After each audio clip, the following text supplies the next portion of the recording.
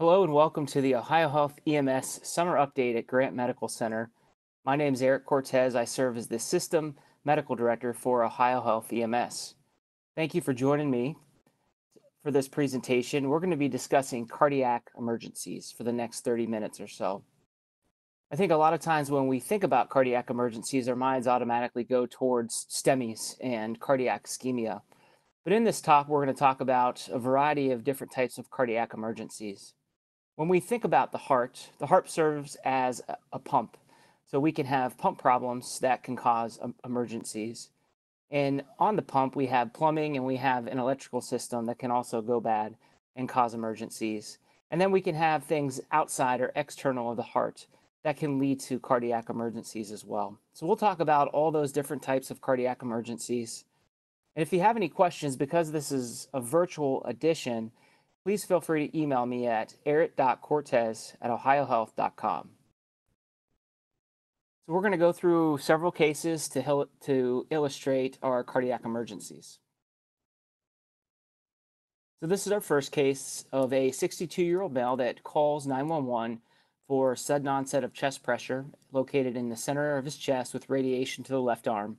When you arrive on scene, he's diaphoretic uh, and hypertensive and he's complaining of chest pain.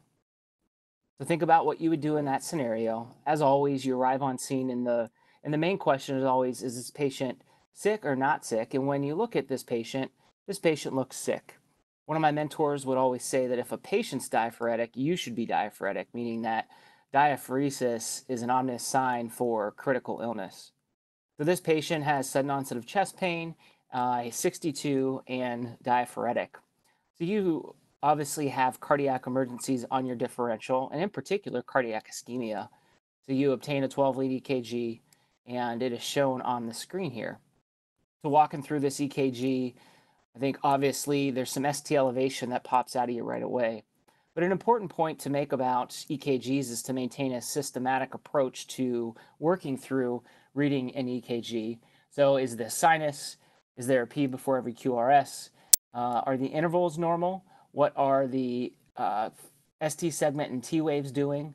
So going through this, we see that we have a normal sinus rhythm. It looks like there's P waves before every QRS, but the big thing is uh, contiguous ST elevation in two or more leads, looking at one AVL, and then really from V2 through, through V6 of the precordial leads, with reciprocal depression in lead 3 and AVF, and we see some depression in AVR as well. So this pattern in this patient presentation is consistent with an ST segment elevation myocardial infarction, or a STEMI. And this is one of the main reasons why we obtain 12 lead EKGs in the pre hospital setting. This case was fairly classic uh, with the clinical presentation. However, what we're learning more and more as we have more and more studies that come out on the epidemiology surrounding STEMIs is that STEMIs have a variety of presentations, and sometimes it's crushing pain, sometimes it's sharp pain. Sometimes it radiates to the left arm, sometimes it goes to the right arm. Especially in older folks, those with comorbidities like diabetes, they can present with atypical symptoms where you might just have nausea, or you might have syncope, or you might have some back pain and shortness of breath rather than the classic chest pain. So, STEMIs are time critical diagnoses. We need to get STEMI patients to definitive care as quickly as possible. Therefore, having a low threshold for obtaining 12 lead EKGs on scene for patients with the classic and atypical symptoms for STEMIs is going to be really important to expedite not only your scene times, but also decrease time to definitive care for STEMIs. So STEMI management, I have it broken down into five steps, uh, five important things that we can do in the out-of-hospital setting. One of the things that we look at is getting an EKG quickly. So we arrive on scene and for our STEMI patients, having an EKG time of less than 10 minutes. And this is somewhat backward thinking, but this, what this means is that for the patients with those type of typical and atypical complaints, we need to be thinking EKG early. And then if it does show a STEMI, then we're able to use that information to do steps two through five as quickly as possible. So we, we arrive on scene, and hopefully for our STEMI patients, we try and obtain a 12 lead EKG within 10 minutes, and then transmit that to your receiving ED call a STEMI alert as soon as you can. Sometimes um, the STEMI alerts are not called until the radio report a few minutes away from the hospital. But as soon as you recognize that there's a STEMI occurring on your 12 lead EKG and you feel like the patient's having a STEMI, go ahead and call a STEMI alert as soon as possible. And that allows pre notification and activation of the appropriate personnel and equipment and resources in the hospital setting to get the patient to definitive care. The third thing I have listed here is aspirin. Aspirin is the most important thing you can do in the treatment of STEMIs. Aspirin is an antiplatelet. It, what that means is that it, it, it inhibits the function of platelets, and it's actually been shown to have a mortality benefit in the setting of STEMI patients. So, about 1 in 30, that's an estimation, about 1 in 30 patients need to be treated with aspirin to promote one survival. So, those are, those are terrific numbers when it comes to a number needed to treat. So, number needed to treat of aspirin is 30 to improve survival in one patient. So that's very significant and get that on board as soon as possible. Number four, the next step is to treat pain and sympathetic tone. And classically, we talk about nitroglycerin as a pain control option, uh, as well as morphine. I think a lot of the trend from a pre hospital perspective is still to use nit- nitroglycerin that helps out with pain uh, it's a vasodilator, so it theoretically can increase or promote coronary perfusion as well. And it can lower blood pressure, uh, lower heart rates, and decrease sympathetic tone. Uh, as well as fentanyl is now becoming more favorable, more so than morphine. Fentanyl's quick on, quick off, and it can provide pain control, but also decrease sympathetic tone as well. And that increased sympathetic tone, the fight or flight response, um, that can be detrimental in the setting of a STEMI. So, treating pain with nitroglycerin, with fentanyl, is a great way to treat pain, decrease sympathetic tone, and hopefully promote some coronary perfusion as well and decrease the work of the heart. Then, lastly, step five is oxygen therapy. And this is a classic treatment that we've all learned about in the, the, um, the, the classic teaching of MONA therapy. So, morphine, oxygen, nitro, and aspirin for STEMI management. And I already mentioned that morphine is somewhat falling out of favor for a focus on nitro and, and fentanyl.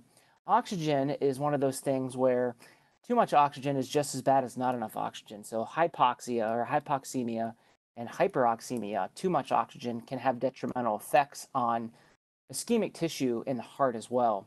So we don't just want to give oxygen blindly. We want to prevent hypoxia. We want to treat somebody that has a low oxygen level to make it normal but we're not trying to hyperoxygenate somebody, which can have detrimental effects. So give nitrogen as needed, and you don't need to have a, a pulse ox of 100%. It can be anywhere from 94 to 99% um, in order to get enough oxygen to the patient with the STEMI. So those are the five steps in STEMI management.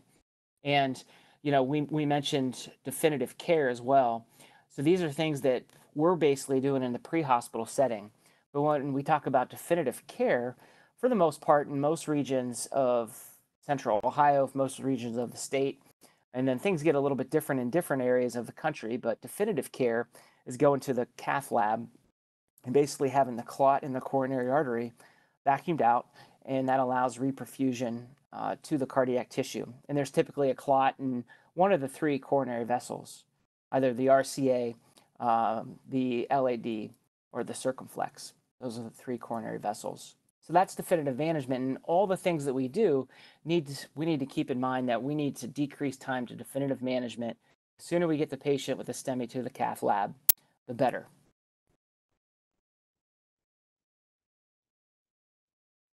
So this is another EKG here that falls within the ischemia picture of cardiac emergencies. And we talked about STEMIs, but there's this other group of diagnoses that where whereas a STEMI has complete occlusion of a coronary vessel. We have some other lesions and stuff we can see on a 12 lead that suggest that we have a very high grade occlusion that's going to completely occlude shortly. So we need to be aware of some of these EKG changes. Sometimes we refer to these as non-ST segment elevation myocardial infarctions where you're likely going to have some evidence of cardiac damage on blood work. Uh, but this is an example of, of one of those EKG findings, and we're going to go through a few here of not quite STEMI criteria, but it's probably going to transition to that pretty quickly. So it's important to pick these things up very quickly. So if you look at this EKG here, we see in the precordial leads here, V1, V2, and V3, we see ST segment elevation as well as a biphasic T wave here. So biphasic T wave, it's positive and negative. It's positive and negative. So this is a concerning pattern.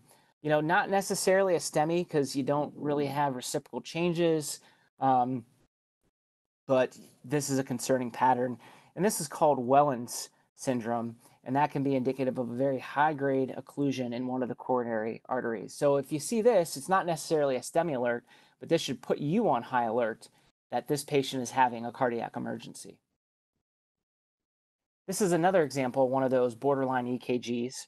Uh, and what we're seeing here is, again, in the precordial leads. And a lot of times we forget about these leads, but in a lot of the stuff we're talking about, the precordial leads are going to give you a lot of clues about cardiac emergencies. So this is one of those where we have, you know, these big T waves, hyperacute T waves that are higher than the QRS amplitude. And this is indicative of cardiac ischemia. This is this is called uh, De Winter's pattern or De Winter's T waves, where we have these big T waves. And again, that's suggestive of a very high grade occlusion that's likely going to turn into a STEMI sooner than later. Another EKG pa pattern that's concerning. Looking at this, AVR, you know, a little bit of elevation there. We don't talk about AVR at all, but you'll notice in the other leads, we have depression in one and two. Uh, we have some depression in AVL. We got these ST segment changes out here in the lateral precordial leads. So AVR with diffuse ST segment changes and depression. This is considered a left main pattern, um, and it, it can be uh, indicative of a high grade left main artery before it branches uh, to the LAD and the circumflex, and that can be indicative of a high grade occlusion. Sometimes this indicates that this is just diffuse disease in all of the coronary arteries as well. Um, not important to differentiate what it's telling you, but know that when you see this pattern, very high grade occlusion and can transition to STEMIs very quickly. All right, so those are some patterns that we can recognize on an EKG. And I mentioned that, you know, coronary artery disease, ischemic heart disease occurs on a spectrum. We started with that STEMI example. We have these two or three different EKG patterns that are suggestive of high grades, high grade occlusions. And then we can have these non-specific patterns that can be ischemic, just not a STEMI. And we see here just going across here, ST segment depression, some T wave changes, we we can have dynamic changes where we start out as depression and then eventually we start transitioning over to elevation some t wave inversions on the right hand side of the screen. The key thing here is you know besides calling a STEMI alert we're going to treat these the exact same way as a STEMI. Get an ekg quickly transmit it to the hospital give aspirin uh, treat pain and decrease sympathetic tone and give oxygen as needed this would be an example of an NSTEMI or you know active ischemia without st segment elevation, all concerning patterns in the right clinical setting. All right, so that's dealing with our ischemic problems. Let's move on to some other type of cardiac emergencies. This is an EKG here, somebody with shortness of breath and some dyspnea. And you look at this EKG and, you know, again, P wave before every QRS, the intervals appear rather fine. Uh, no obvious ST segment elevation. Maybe in some of the leads, the ST segments look a little messy, but nothing really bad. Uh, but a few things to note. Two items, actually. Go down to the rhythm strips here, and we see in lead two, what we see here is, you know, these QRS complexes, they're very small or short, basically. So they're low amplitude. We also see they alternate in height. So tall, short, tall, short, tall, short, tall, short, the whole way across here. So they're alternating between high and low. So we have low voltage QRS complexes, and we call this all alteration electrical alternans. And when you have those two findings in the right clinical setting, you think about a pericardial effusion and tamponade. So this is an ultrasound of the heart. Right ventricle is RV, right atrium is RA, left ventricle and left atrium. So this is just a picture of the heart. And then this bright white stuff around here, that's the pericardial sac. This black area here, this on ultrasound, this is called an area of, um, or this is called an, an anechoic area. Basically, it represents fluid. EFF stands for an effusion. So this is a pericardial effusion around the heart. So that shouldn't be there. There shouldn't be fluid around the heart. When there is, there's some type of process going on. But that process can get really, really big. There can be a lot of fluid that either a, high volume accumulates there or a smaller volume accumulates in a short amount of time. And it can transition from a pericardial effusion, which can cause symptoms. But when that pressure gets high enough, and in particular higher than right ventricle pressure, you see collapse of the right ventricle here. So the walls of the right ventricle are touching here. And these arrows represent pressure pushing on the right side of the heart. So what happens, this is pericardial tamponade, and the heart swings within that fluid, which causes the electrical alternans as it swings back and forth. And then that fluid around the heart causes the QRS amplitude on your EKG to be short. Um, so that's that's what we're finding there. And tamponade can can lead to obstructive shock, where you don't get any preload back to the heart, and if not treated appropriately, typically with a pericardiocentesis, then um, it can lead to PEA arrest as well. All right, this is our next case. Um, you know, this is a 35 year old female that presents with pleuritic chest pain and shortness of breath. Um, she recently took a long car ride up from Florida to the state of Ohio and uh, was complaining of leg pain and then shortly afterwards developed the shortness of breath and pleuritic chest pain.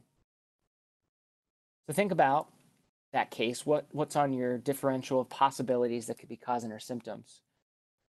Um, hopefully, with the chest pain and shortness of breath, recognizing that we can have atypical presentations of cardiac emergencies, we're going to do a 12 lead EKG. And I, and I think a 12 lead is very appropriate in this scenario. You know, you, you don't necessarily see any signs of STEMI or anything, but what you're looking at on this 12 lead is, again, look at the precordial leads. Those are those are the hidden gems.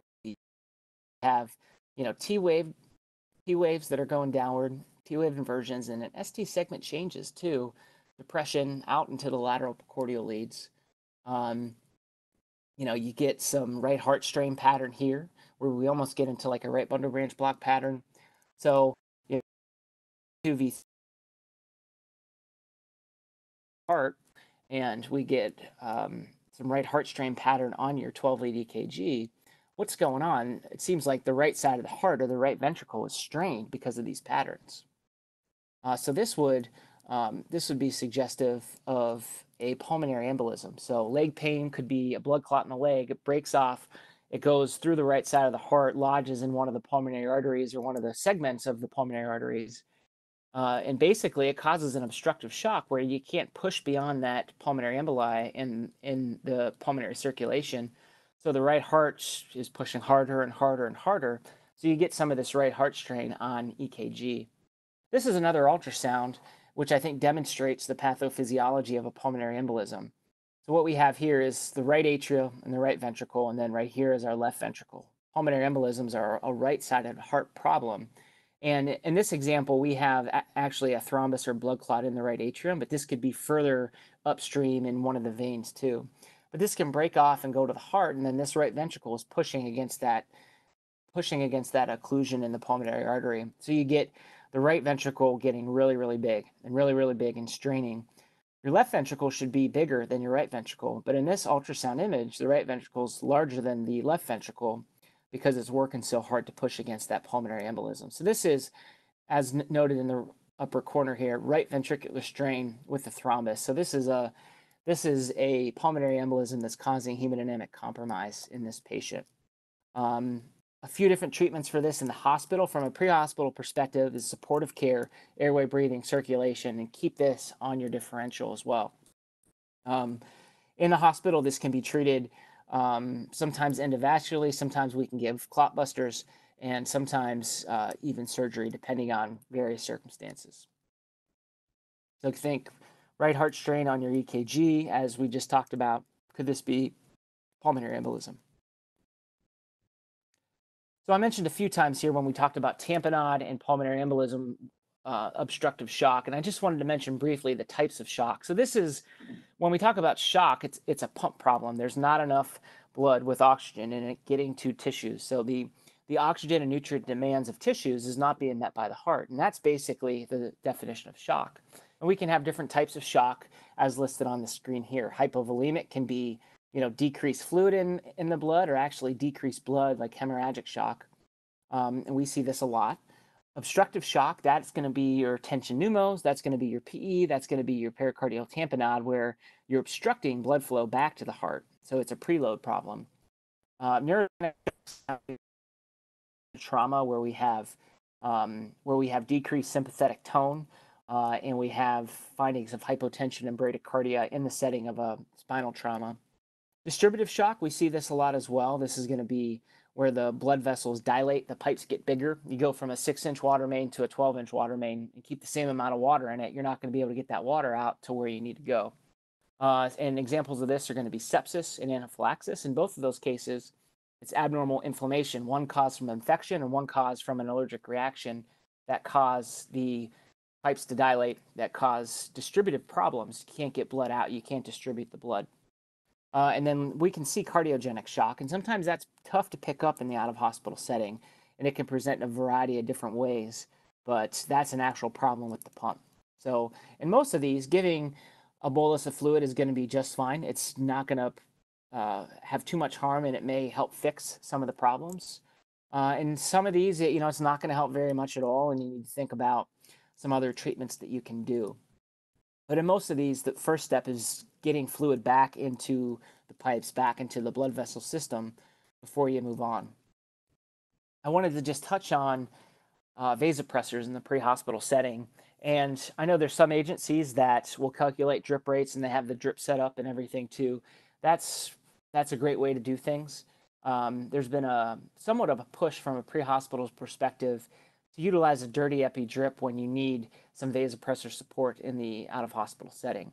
And the the nice thing about a dirty epi drip is that it's pretty easy to do and it takes a lot of the technicality about calculating drip rates and all that stuff um, out of a stressful situation and uh, it, it allows you to provide some sympathetic tone to maybe buy you some time so you can resuscitate before you have to intubate etc uh, and stabilize the patient I'm a proponent of the dirty epi drip um, in the right clinical scenario. It's pretty easy to make. You put one milligram of epi in one liter normal saline. You run it wide open to clinical effect. You got to watch out for blood pressures, watch out for perfusion, um, make sure your IV is good. Um, but it's a good concentration, and they say if if it goes through a 16 or 18 gauge IV through the for, um, through the through the antecubital fossa, you get about 20 micrograms per hour um, or 20 micrograms per minute, sorry, and then you can titrate to clinical effect as well. So it's a nice it's a nice way to uh, get some epi and buy yourself some time in the pre-hospital setting. All right. This is a 53 year old male that presents with shortness of breath. Um, you arrive on scene and, you know, borderline hypoxia, maybe 88, 90%. Um, he's working hard to breathe. Uh, his respiratory rate's high, U 1280 kg, and he's in this rhythm here. So looking at this rhythm, you know, um, maybe you see some P waves in there. You know, maybe this is, um, you, you, know, maybe this is a, some flutter waves in there. Maybe you see that you have a narrow complex um, irregular rhythm. So you, you know, you think that it's coming super, ven- super ventricularly uh, you look at the comorbidities, and he has a history of heart problems. He has diabetes, hypertension, hyperlipidemia, etc. So, you know, you're thinking maybe this is cardiogenic shortness of breath, and um, you know, you you kind of go down. Could this be CHF rather than our COPD, pneumonia, asthma type picture too? And uh, you know, you think about some lung sounds that you can hear with CHF or decompensated heart failure. Typically, they're going to be wet lung sounds, so crackles and you can see some extremity edema as well. Look at the past medical history. If there's a history of CHF, then likely this could be a presentation of decompensated heart failure. So, um, heart failure can be decompensated or compensated, and most of the time when we're called on cardiac emergencies, it's going to be decompensated heart failure. And um, look at your EKG, look at your past medical history. Your physical exam is going to be really key. Do you see signs and symptoms of volume overload? Um, what do your lung sounds sound like?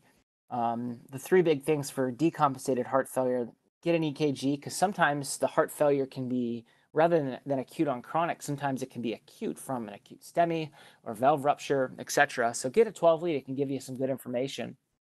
And then the two most important things you can do especially for hypertensive uh, decompensated heart failure, CPAP and nitroglycerin.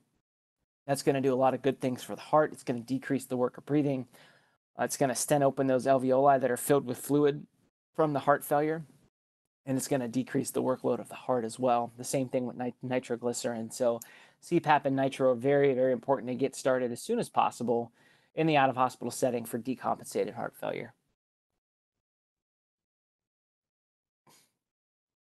All right, this is our next case here. This is um, this is a 71 year old female that was found down on the ground after falling a day ago, and she was laying on the ground for almost a day. Neighbor found her, and then you're called for um, found down altered mental status.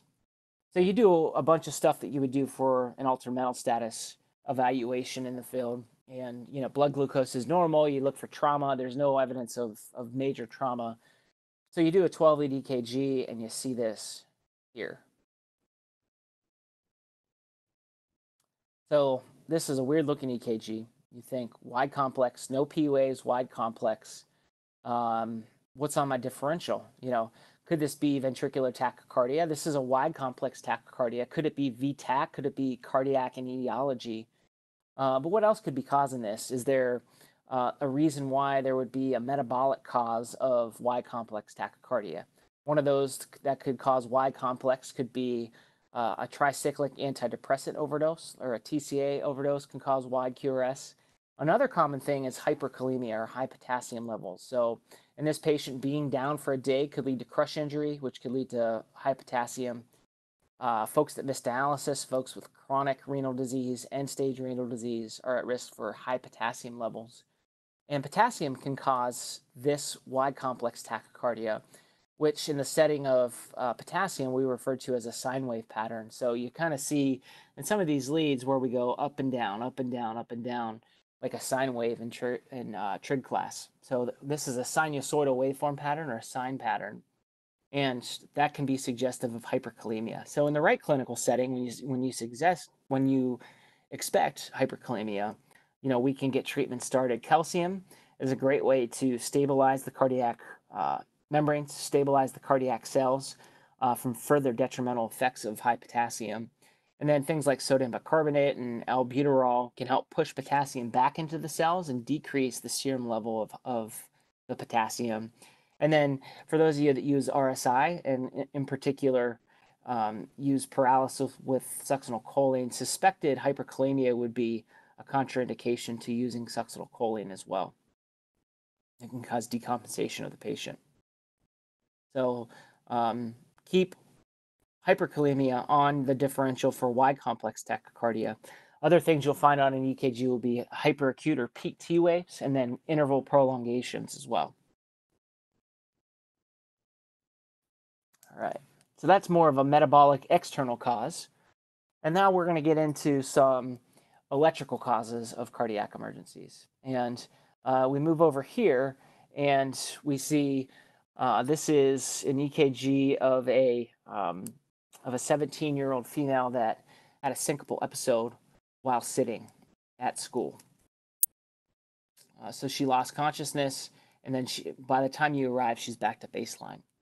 Syncope, when we talk about syncope, the definition of syncope is transient loss of consciousness with loss of postural tone with quick return to baseline. So you lose consciousness quickly, you pass out quickly, you come back to fairly quickly, which differentiates it from a seizure. And when you pass out, you lose control of your body, so you fall over. So that's the definition of syncope. And then near syncope would be somebody that feels like they're going to syncopize, but does not completely lose consciousness. So near syncope, syncope, uh, they can be suggestive of cardiac problems of uh, of the of the cause of the syncope. Sometimes it's neurogenic cause of syncope. A lot of times, what we deal with is vasovagal, where where we have just changes in blood vessel tone, where we go from laying to sitting or sitting to standing, and we just don't get enough blood flow going to our brain. But there's that cardiac etiology consideration for syncope patients. And it can happen in young patients, middle aged patients, and older patients. So getting a 12 lead when, when somebody has that syncope complaint is very important. And this is an example of a young girl presenting after a syncope event that we do an EKG on. And what we find here is, you know, P waves before every QRS. Uh, there's no ST segment changes or anything, but we look at our intervals and we look at our Q wave going to our T wave, Q wave, um, T wave, Q wave, T wave, that's long. Uh, so this is a prolonged QT interval. And prolonged QT intervals can be caused by anatomical problems that people are born with. Uh, they can also be caused by acquired problems such as medications. And there's a million different medications that can cause prolonged QT intervals. Uh, and the danger, especially when the QT interval gets over 500, is you can progress to a more malignant rhythm as evidenced here. So prolonged QT on the left-hand side of your EKG progressing into this polymorphic uh, ventricular tachycardia on the right-hand side of the EKG. It's a polymorphic VTAC. So this would be an example of prolonged QTC interval. So you basically drop off and then you decompensate into a, a torsades pattern that we're seeing on the right-hand side of the screen. So that's the danger with prolonged QT intervals is you can decompensate in, into a malignant cardiac rhythm. VTach, polymorphic VTach, torsades, and even v, uh, VFib as well. So look for that prolonged QT interval. If it's greater than 500, that's extremely concerning uh, for potential cardiac decompensation. All right. This is another, um, let's say, uh, you know, adolescent that passed out uh, while sitting uh, at school. And what we have here is the EKG afterwards back to normal. And we're looking for any kind of electrical abnormality. So what's wrong with the wiring of the heart? And we go through here and again, P before every QRS. You know, there's maybe some ST segment changes here in the precordial leads, but sometimes you can have those kind of changes with with um, adolescent EKGs. But look at some of these intervals here. So the PR interval is a little short, and then you got this upsloping aspect of the wave here. You know, and that's um, this is an example of a delta wave. So delta wave um, with the PR interval uh, when you see that, it's concerning for Wolff Parkinson White or WPW syndrome, which is another electrical problem with the heart.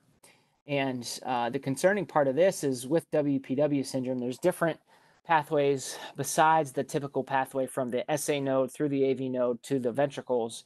You can go through different pathways between the atria and the ventricle. And depending on the direction of impulse through the heart, basically the direction of how electricity flows throughout the heart, um, people can decompensate when they have uh, WPW syndrome into a um, irregular tachydysrhythmia that we're seeing on the screen here, which can which can cause um, decreased perfusion and then can decompensate into a pulseless VTach, uh, VTach VFib cardiac arrest as well. So you got to be careful with the medications that you give here. Typically, these folks will present unstable and will require cardioversion to be knocked out of that malignant rhythm. So this is a um, this is a 16 year old male uh, at football practice. Uh, at the time of this recording, we're in August, so two days are starting, um, at least practices for high school football right now. And what we see here is uh, he was uh, doing sprints and passed out. When you arrive on scene, he's back to normal. Uh, doesn't really have any complaints. But you do this 12 lead EKG, and what are we finding here? Again, P wave before every QRS. Um, intervals look okay, but we see um, we see these odd T wave and ST segment changes again in the precordial leads. We keep talking about the precordial leads. Some T wave inversion here, maybe some poor R wave progression where these R waves are much bigger than over here, whereas you should progress through that when you have um, normal conduction. So this is an EKG example of uh, hypertrophic obstructive cardiomyopathy where basically the left ventricle becomes so large, becomes so enlarged, uh, it causes obstruction of the outflow tract going from the left ventricle to the aorta. So you can get basically just re- reduction in cardiac output through the aortic valve, and that can lead to syncope. It can also um, it can also decompensate into uh, VFib, VTach cardiac arrest. Our last uh, EKG that we're going to talk about demonstrating an electrical problem. This is a 23 year old that uh, passed out while working in a warehouse.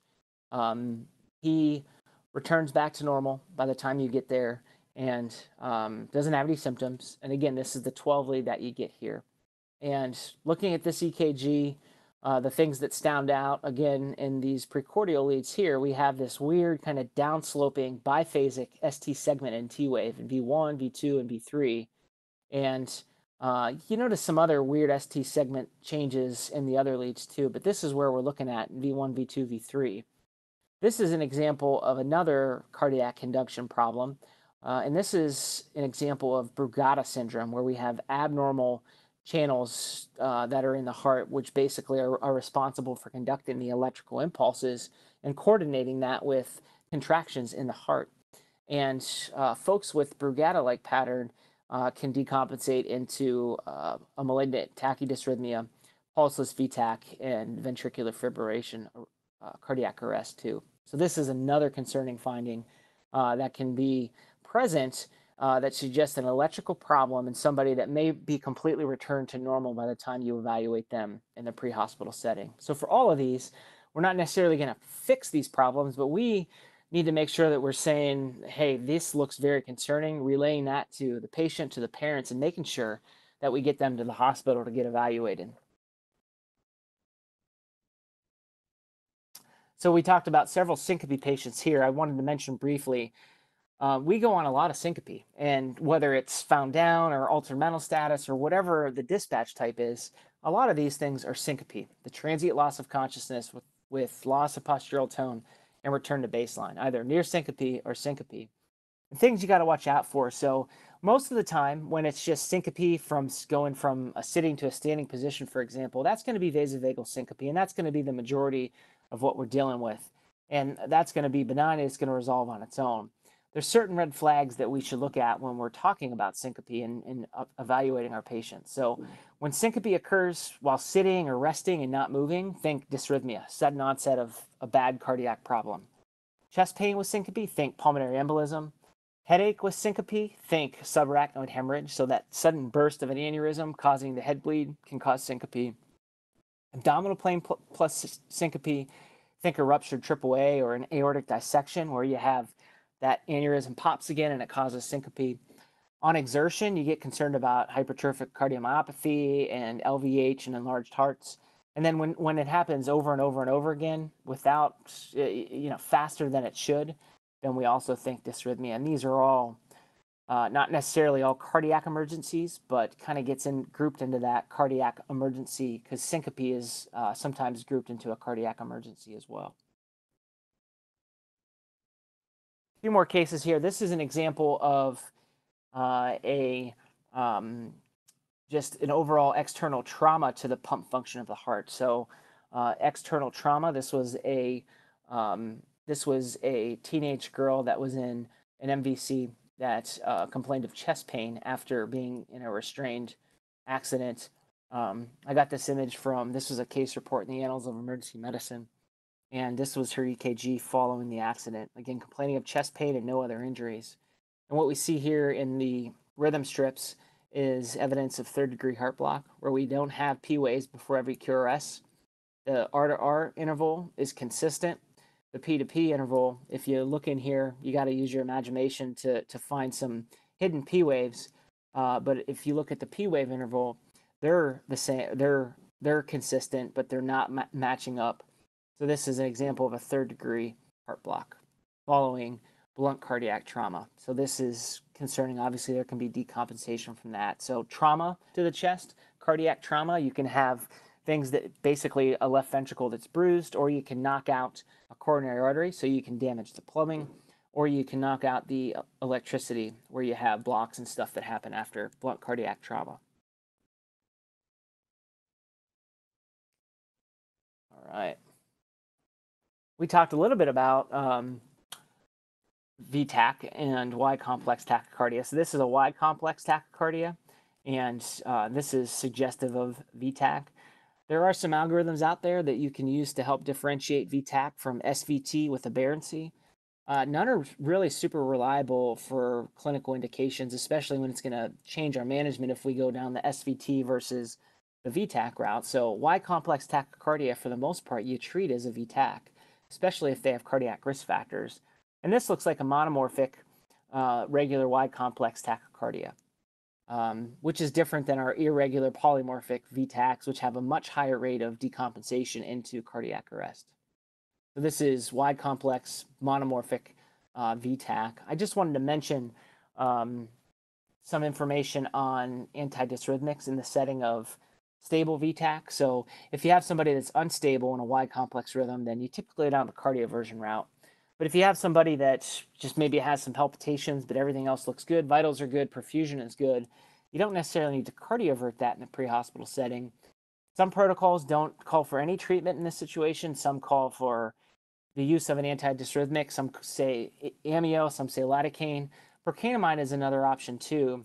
I wanted to highlight this really cool study from a few years back. It's the PROCAMIO study, and it compared procainamide and amiodarone for the treatment of tolerated wide QRS uh, tachycardia.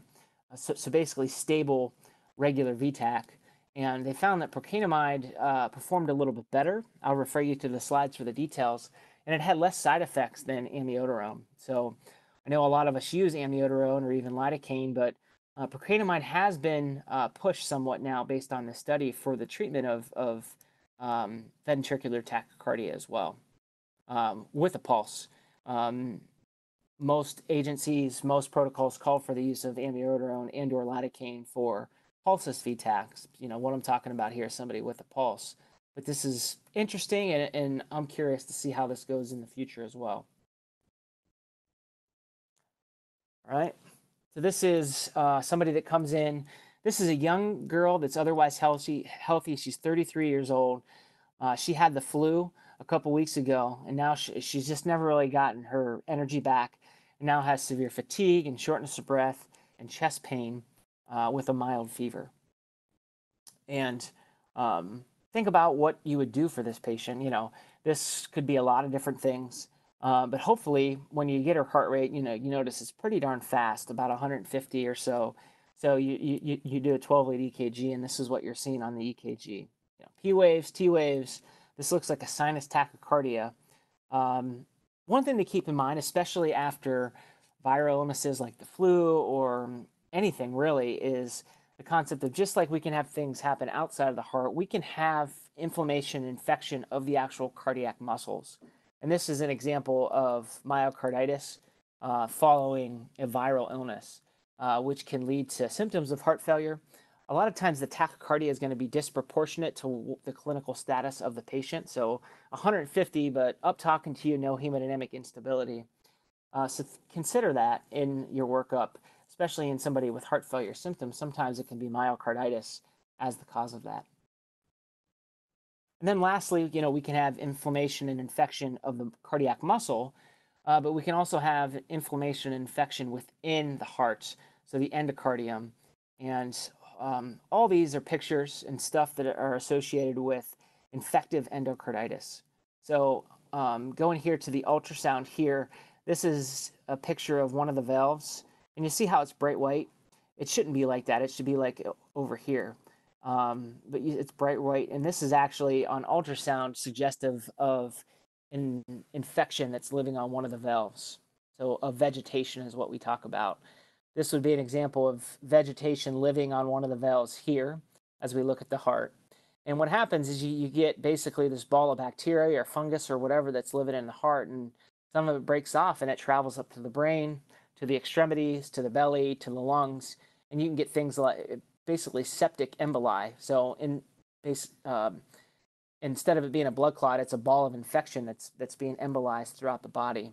So you can get um, altered mental status and edema of the brain. You can get severe pneumonia. You can get ischemia to the gut and to the legs.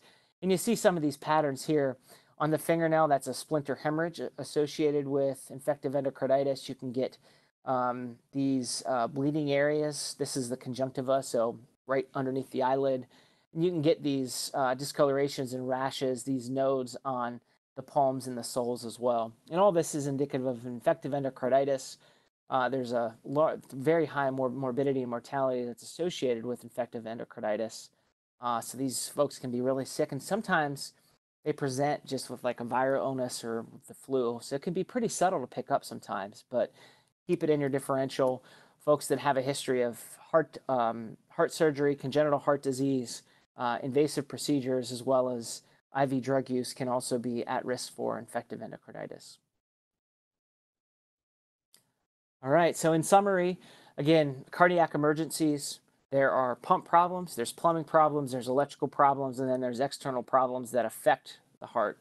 Um, a 12 lead EKG is going to be your friend. It's going to help pick up a lot of those plumbing, electrical, and pump problems.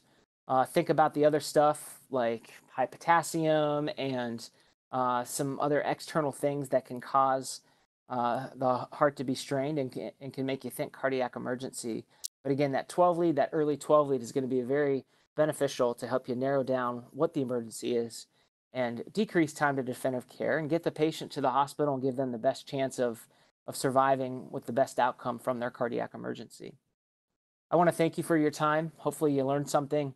Uh, again, if you have any questions, comments, or feedback, please feel free to reach out to me at eric.cortez at ohiohealth.com.